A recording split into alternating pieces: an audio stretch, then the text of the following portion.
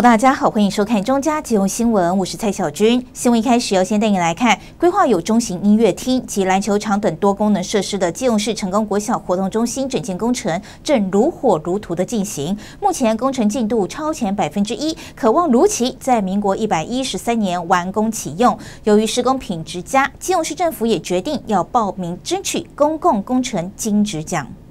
在基隆市政府教育处长杜国正等人陪同下，基隆市长刘昌戴着工程帽进入工地，逐层查看施工状况。这里是成功国小活动中心整建工程现场，这栋复合式建筑已经初具雏形，包括多功能球馆即可容纳四百人的展演音乐厅。目前工程进度已达百分之五十七点八二，超前百分之一点零一。像这一个呃工程呢，不仅对呃我们成功国小的呃师生哦有很大的一个注意，其实对周边狮球五里未来也是一个非常重要的呃活动的一个场域哦。那特别这个活动中心上面有一个演表演的一个空间，有四百席的一个座位，那未来也可以进一步的分摊啊文化中心的一个压力哦。呃，因为一个中型的一个展演空间哦，也是我们金融市非常的需要。那现在文化中心基本上呃这个场地都是饱和哈，所以未来成功国小的活动中心跟呃这个演艺厅呃完成之后，呃未来也会变成是我们金融市很重要的一个中型展演的一个场所。那我今天特别来看这个工地哦，因为每天呃从这边附近经过，呃我觉得这个工地其实进展的非常的顺利哦。那刚刚听了简报。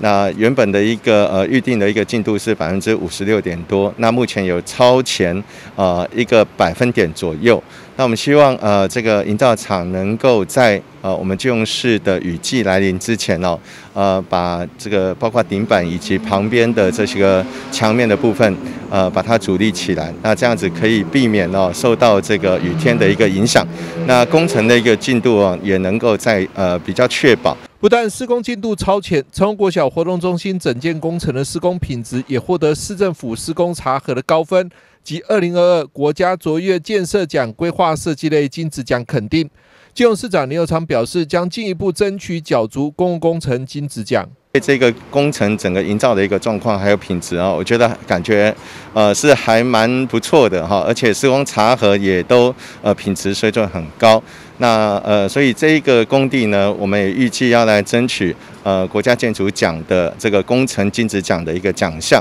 啊。所以呃，这个营造厂跟建筑师还有我们呃师傅的团队，大家都很努力，希望能够争取这样的一个荣誉。刘昌强调，这是以校园为核心社区改造运动，在成功国小基地的最后一里路。未来活动中心完工启用后，将可衔接城际转运站，更进一步串联成功一路廊带，搭配未来三十一号桥改建，把四球五里跟四港核心区有效串接，成为学校与社区营造共好共荣的典范。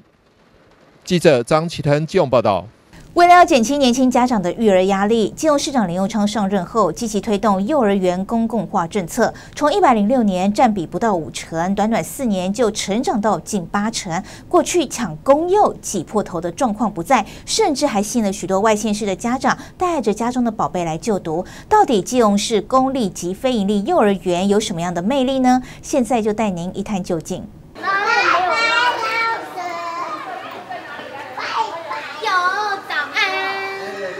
阳光普照的早上，小朋友开心的跟老师打招呼，准备度过愉快的一天。这里是基隆中山非营利幼儿园，除了拥有新颖漂亮、具设计感的校舍外，背山面港、绿意围绕的优美环境更获家长与小朋友喜欢。小朋友甚至能在这里看见蓝雀、五色鸟及松鼠，让学习不只局限在教室里。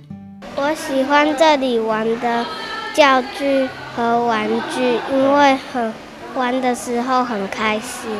我在海豚班的教室那里，旁边那里我有看到松鼠，在三楼上三楼。哦，看到什么？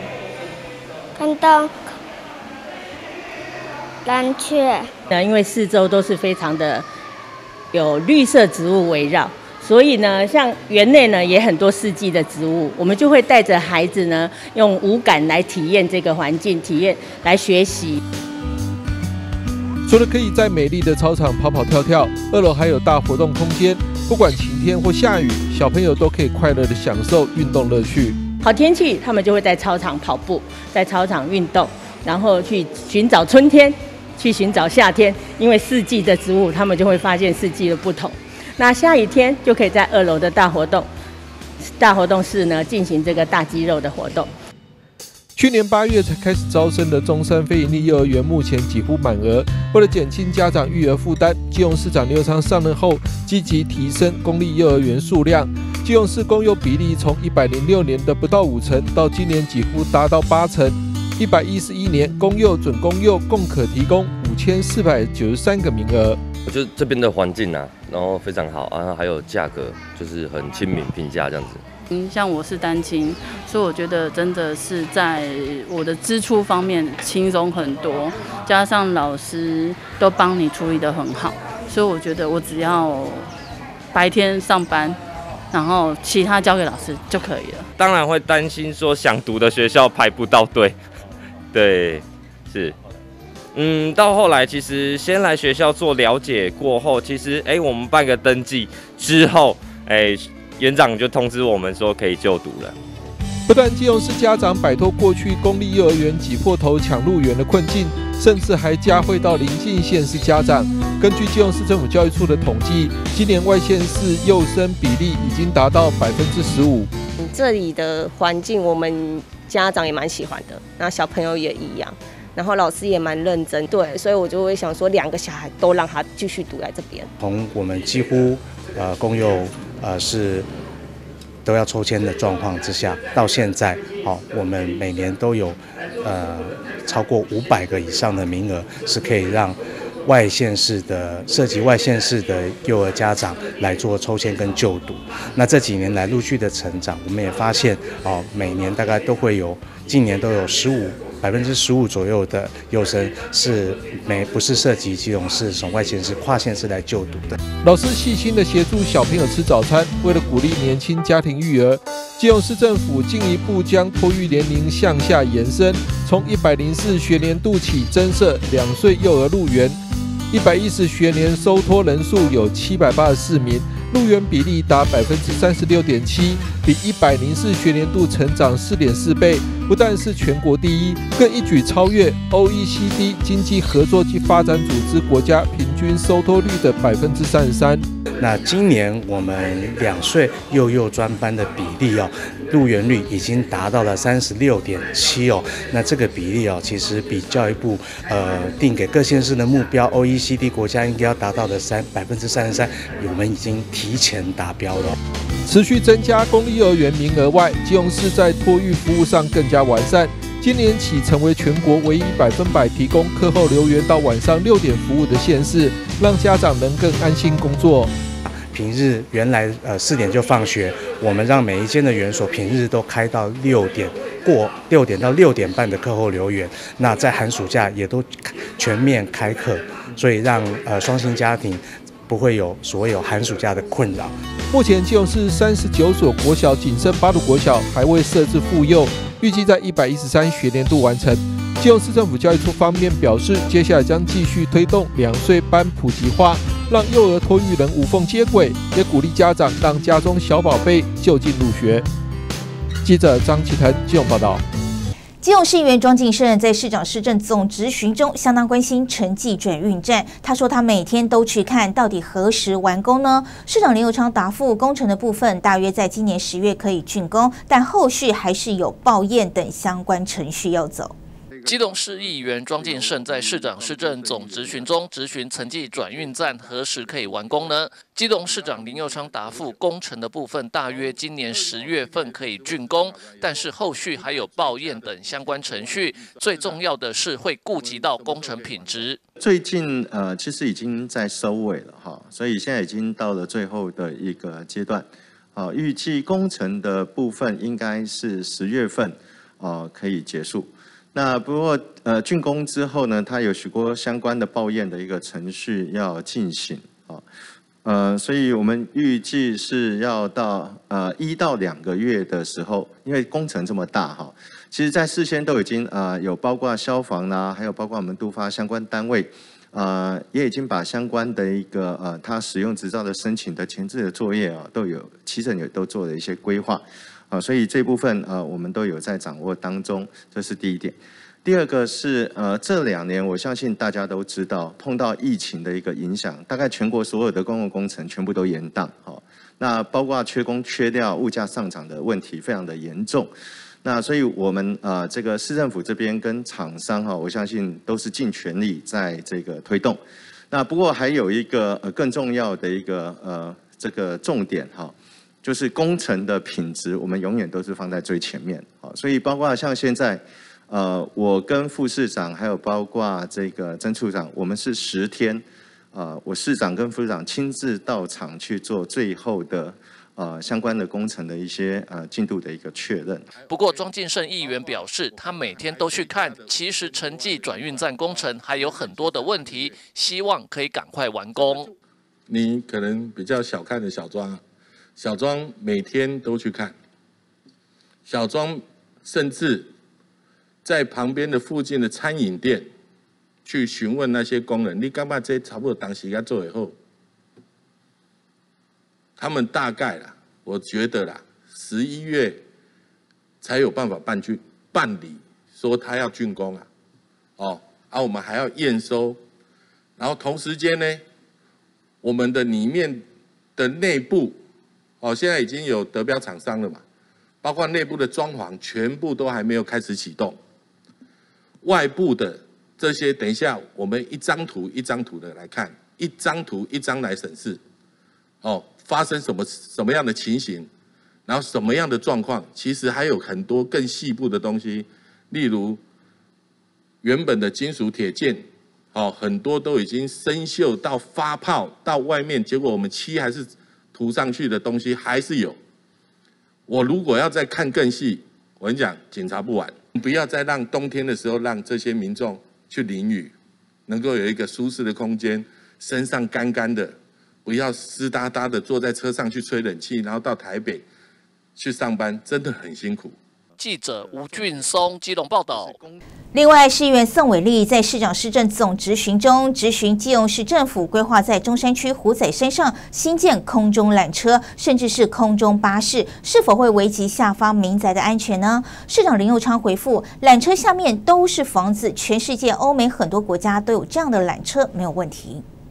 基隆市议员宋伟立在市长市政总执询中执询基隆市政府规划在中山区后阿刷山上新建空中缆车，甚至是八十人坐的空中巴士，但是下面房子一堆，安全吗？适合吗？你知道你说明会开过之后，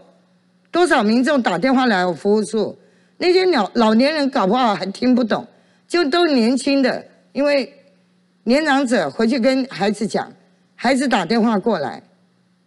他说：“你们怎么会让市政府这个规划费让他通过呢？”他们每天都会生活在这个震动、噪音，然后不知道哪一天掉下来的那种恐惧，然后更很好笑的，那天规划公司如果我没听错的话，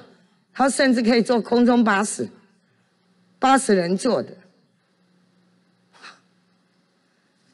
这真的很天马行空哎！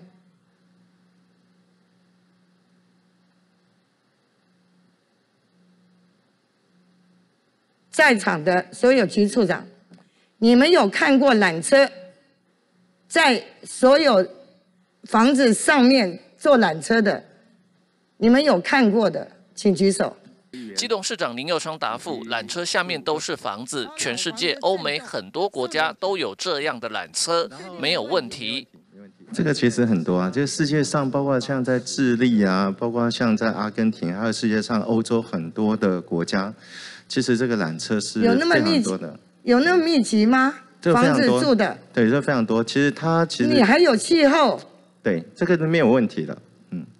你确定没问题？这没问题，没问题。而且，其实刚刚你在讲说八十个人的缆车啊，呃，但是你不要把它想成是像猫缆那个六个人、八个人，其实并不是啊。呃，因为在之前在大会，我其实就已经讲过很多次。呃，其实大型的缆车，而而且因为它的呃这个高度也会比较高，不是贴着房子的，好，所以呃它就只有一站，就是从山脚下直接上到提动地标。其中地标旁边是停车场，还有操场，所以旁边的腹地其实是非常的大。那另外在规划的过程里面呢，啊，也会呃，就是尽量的去呃减少呃这个尽量会去找那个巷弄的中间啊，然后去呃通过，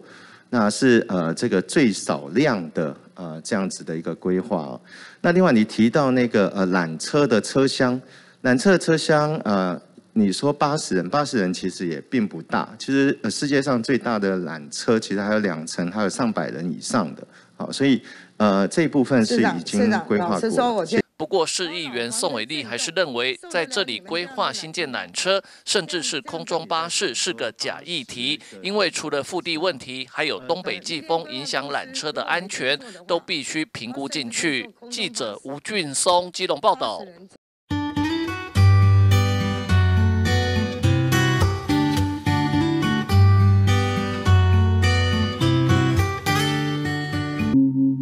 慈云寺药师佛殿历经两年策划，开光启用。药师佛大殿内设有神佛尊像、壁堵、木刻解王等，恢宏庄严。不少信徒专程前来点药师佛灯，祈求身体健康、消灾延寿。欢迎民众来慈云寺药师佛殿参拜，感受法喜。民国九七年才开始启用的慈云寺大悲殿中，供奉了由中国名师许习于精心雕刻的千手千眼观音菩萨。千手千眼观音菩萨为一尊四面佛祖，雕工极为精细。信众参拜完大雄宝殿后，不妨进到大悲殿，一窥四面千手观音菩萨的独特样貌。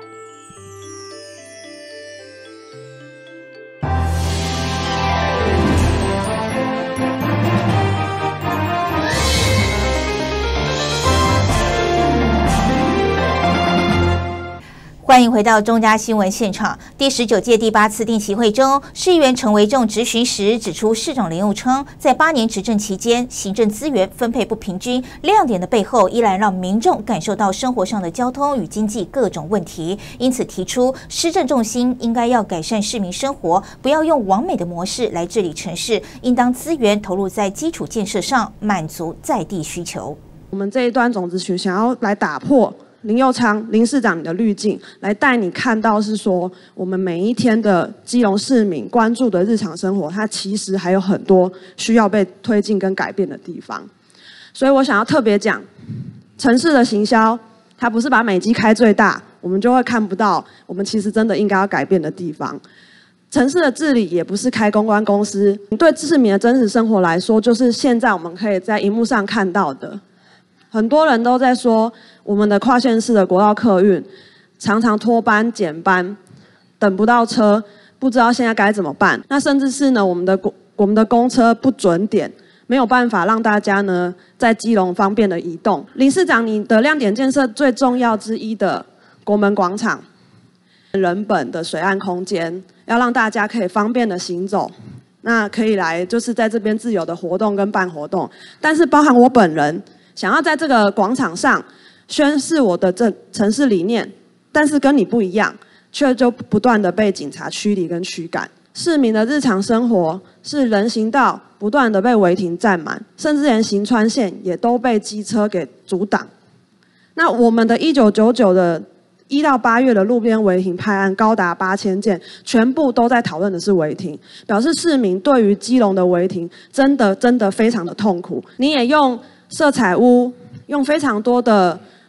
观光打卡的景点，告诉大家，基隆现在不再是灰灰暗暗的，基隆现在色彩缤纷。但是基隆真的是为呃外人而生的吧？我们基隆自己的年轻人，现在仍然是在面对的很高的房价所得比，那青年的穷忙也是买不起房的一个非常大的原因。亮点建设没有办法成就一座伟大的城市，我认为是说。最好的城市规划，它不是来为基隆打造亮丽的人设，它不是要呈现给媒体看，它也不是要呈现给观光客看的。基隆不是为观光客而生，这座城市是属于所有的基隆人。我们的路径不是把城市当做个人正机的舞台。我是希望在日常生活里面投入我们更多的市政中心跟资源，来加强基础建设，移除这些日常生活障碍。我们刚刚看到这么多障碍，在这座城市的平凡的日常里面，真的让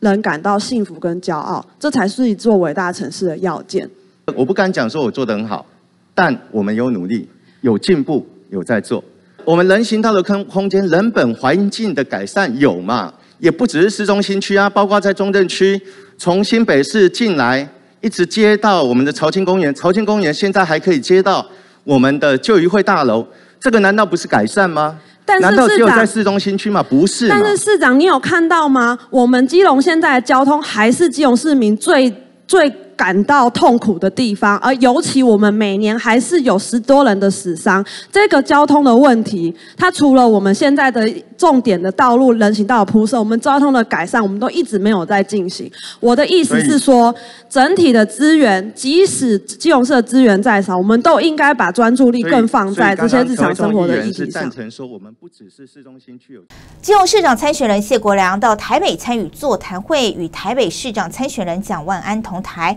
两人互动交流，希望借由多多沟通，加强首都生活圈的合作，共享共荣，共创多赢。所以今天我特别提到，蒋万安在会中提出他的台北愿景，希望借鉴美国成功举办的音乐季系列活动，加上台北独有的潮流科技文化。除了重视创新跟草根，重点是有共创的理念，让台北活动更具有国际特色，而打出知名度。这有赖区域伙伴一起来集思广益，共创多赢，共享共荣。你刚刚也跟谢国良国良兄一起交换了很多意见，未来一定是北北基桃城市区域的治理，我们会提出很多共同的市政愿景。那不只是造福台北市民，希望造福包括基隆市民，我们大家共荣共好。呃，万安是我非常要好的朋友，我们很多事都一起讨论。啊、我很期待他未来不久以后可以到基隆来啊、来帮忙一下国良。啊，这个万安跟国良可以一起来跟民众来恳托。当然，未来我们初步的规划，透过台北国际潮流音乐节，能够先从音乐开始。刚刚谈到，这是我们的优势，我们汇聚音乐的人才，让源源不绝的创意能够发挥出来，然后整合现有的资源，包括扩大既有的活动，台北电影节、易碎节、新创基地节等等，还有包括每一年的电脑展，啊，Innovex，好，因还有包括白昼之夜国际书展等等，把它串联起来。其实台北市绝对可以举办这样大型的像西南偏南活动。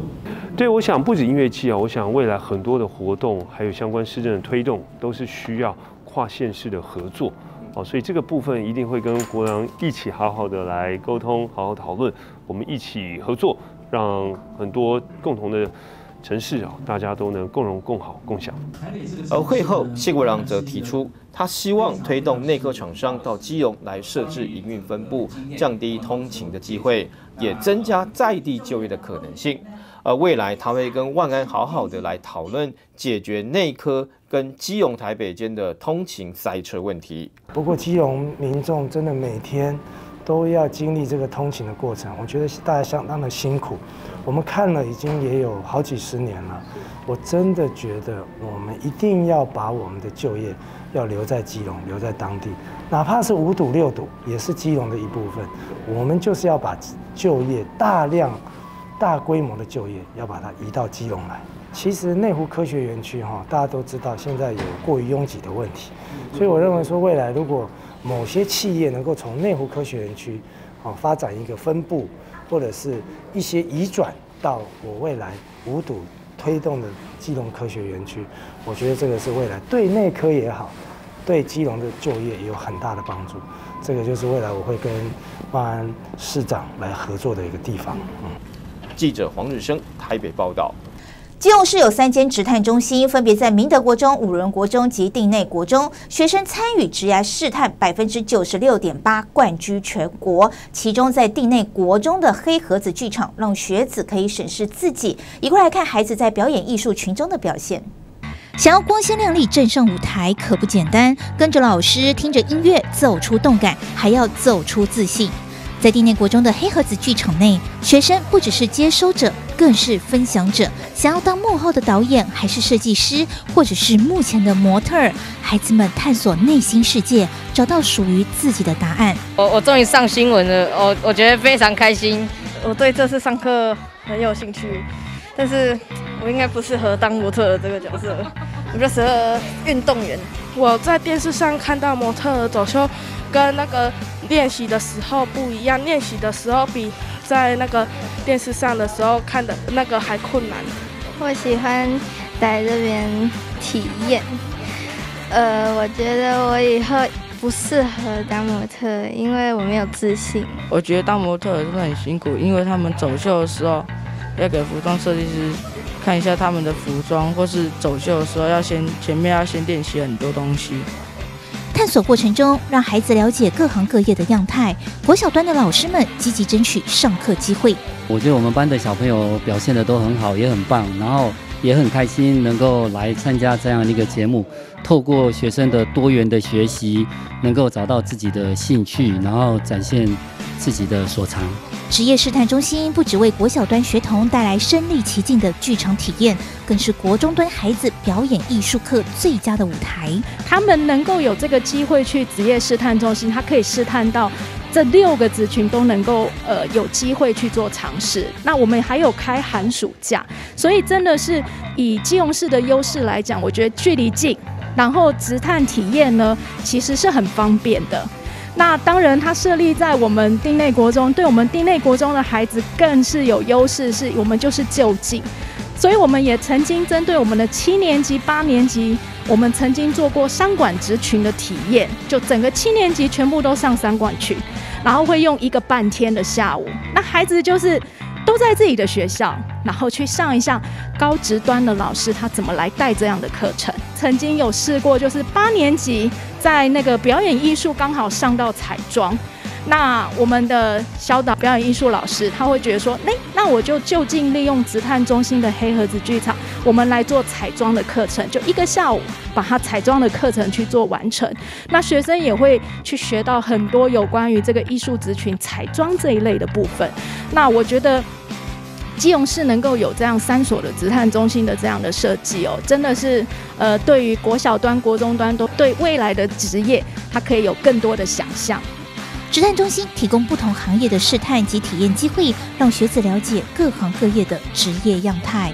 记者蔡小军采访报道。以上就是今天的中嘉新闻，也欢迎您到中嘉新闻的脸书及 YouTube 按赞，就能及时获得最新的在地新闻。另外，我们也与 FN 轻松电台九六点九联合直播，欢迎准时收听。非常感谢您的收看，我是蔡小军，祝您一切平安，我们再会。